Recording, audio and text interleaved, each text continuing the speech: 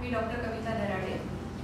तुम्ही प्रेग्नन्सीसाठी नॅचरली जर ट्राय करत असाल तर सर्वात पहिले आपल्याला हे समजणं आवश्यक आहे की प्रेग्नन्सी राहते कशी.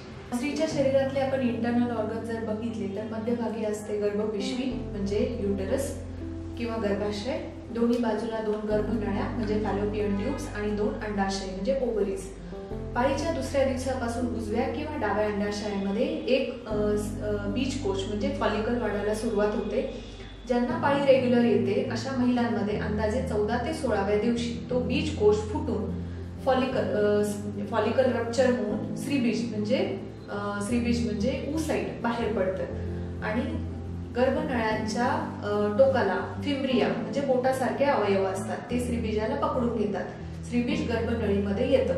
आणि त्याच वेळी जर चांगले शुक्राणू मिळाले ते ते गर्भपिशवीतून नळीपर्यंत जाऊन सगळ्यात पहिले जो शुक्राणू श्रीबीजाचा कवच भेदून जाईल तो गर्भ बनवतो. पहिले तीन दिवस तो गर्भ नळ गर्भनळीमध्येच वाढतो. चौथ्या आणि पाचव्या दिवशी तो सरकत सरकत येऊन गर्भपिशवीमध्ये रुजतो आणि तिथून तिथे पुढे तो गर्भपिशवीमध्ये वाढतो. म्हणजेच प्रेग्नन्सी राहण्यासाठी फॉलिकल हे श्रीबीजाची वाढ योग्य होणे ते वेळेवर फुटणे. गर्भनळ्या फंक्शनल म्हणजे कार्यरत असणे आणि त्या उघड्या असणे. गर्भपिशवी नॉर्मल असणे गर्भपिशवीचं अस्तर नॉर्मल असणे आणि शुक्राणू चांगले असणे. तसेच काही हॉर्मोनचे रिपोर्ट जसं थायरॉइड आणि प्रोलॅक्टिन हे हॉर्मोन नॉर्मल असणे या सात ते आठ गोष्टी गरजेच्या आहेत. आता आपण हे बघितलं की प्रेग्नन्सी कशी राहते. मग तुम्ही जर प्रेग्नन्सीसाठी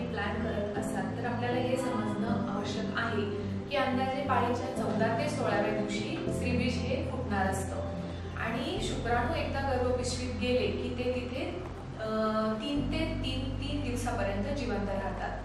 पण श्रीबीज एकदा अं, श्रीबीज एकदा रप्चर झालं आणि श्रीबीज बाहेर आलं की ते गर्भनलिकेमध्ये फक्त बारा ते चोवीस तास अंदाजे बारा तासापर्यंत ते फर्टिलायझेबल म्हणजे त्याची फर्टिलायझेशनची क्षमता जास्त असते.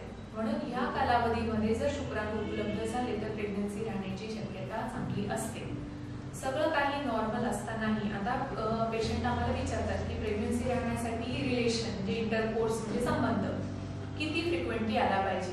तर अंदाजे बाराव्या दिवसापासून पुढे चौदा ते सोळाव्या दिवशी हा ओव्युलेशनचा पिरियड म्हणजे स्त्रीबीज बाहेर येण्याचा कालावधी असतो. पण बारा दिवसापासून वीस दिवसापर्यंत दिवसा आठ रिलेशन ठेवलं किंवा रोजही रिलेशन ठेवलं तरी तुमचा फर्टिलायझेशन पिरियड हा कव्हर होऊ शकतो. आणि जसं मी सांगितलं की एकदा शुक्राणू गर्भपिशवीत गेले की तिथे ते तीन दिवस जिवंत राहतात. त्यामुळे रोज रिलेशन नाही ठेवलं दिवसा आठ जरी ठेवलं तरी प्रेग्नन्सी राहण्यासाठी सफिशियंट आहे. आता पेशंट ट्राय करतात एक ते दोन महिने प्रेग्नन्सी नाही राहिली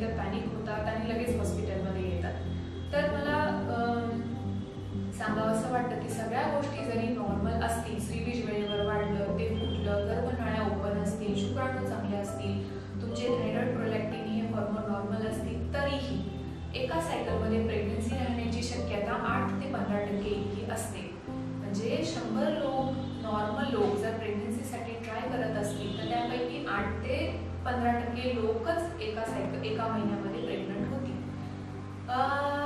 म्हणजेच नॉर्मल कपलला एक वर्षापर्यंत कालावधी नॅचरली प्रेग्नन्सी राहण्यासाठी लागू शकतो.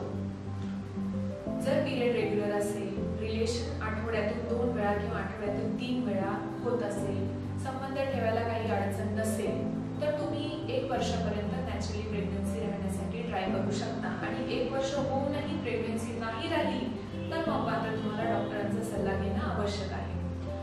व्यतिरिक्त काही लोकांना डॉक्टरांकडे लवकर येणं आवश्यक असतं. जसं मासिक पाळी रेग्युलर नसेल पंचवीस दिवसाच्या आत किंवा पस्तीस दिवसानंतर उशिरा गर्भ मासिक पाळी येत असेल किंवा स्त्रीचं वय पस्तीसपेक्षा जास्त असेल किंवा रिलेशन ठेवण्यात काही प्रॉब्लेम असतील तर त्या केसेसमध्ये आपल्याला लवकर डॉक्टरकडे जाऊन आणि ह्या गोष्टींचं काय ते कारण शोधून लवकर वैद्यकीय सल्ला घेणं आवश्यक असतं.